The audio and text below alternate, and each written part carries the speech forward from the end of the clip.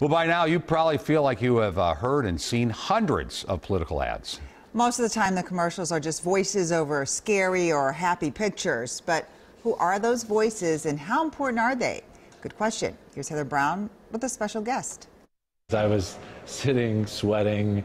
Everyone else was eating lunch. Recognize this voice? How can you have tens of thousands of people looking for you all the time? I had to be by myself with a little smoothie because I couldn't really eat anything. Local actor Chris Carlson was Bigfoot in this anti Erik Paulsen ad. Voice work is really hard. Mm and it's really subtle, really labor intensive. I did a 15 second spot once. It took us an hour and a half. He says some of his voiceover talent friends are partisan and will only work for one party. Hypocrite Dean Phillips. But others are more like him. We're equal opportunity storytellers. and so, I mean, it's to a degree. People don't really realize how much thought goes into picking the right voice. Bill Hillsman produced ads for Jesse Ventura, Paul Wellstone, and many more. How many of the ads are created here in Minnesota?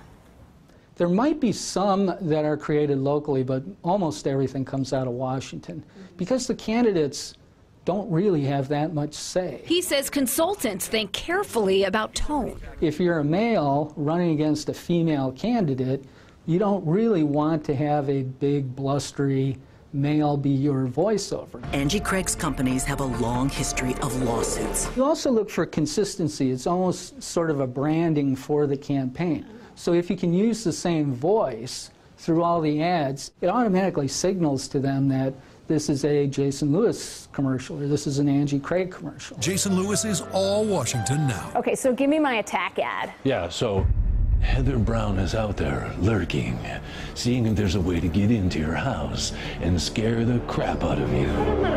and, and it's working. There you go, sorry. And it works the other way, too. You're happy that you voted for her and gave her everything that she needed to win this election. I'm Heather Brown, and I approve that second message.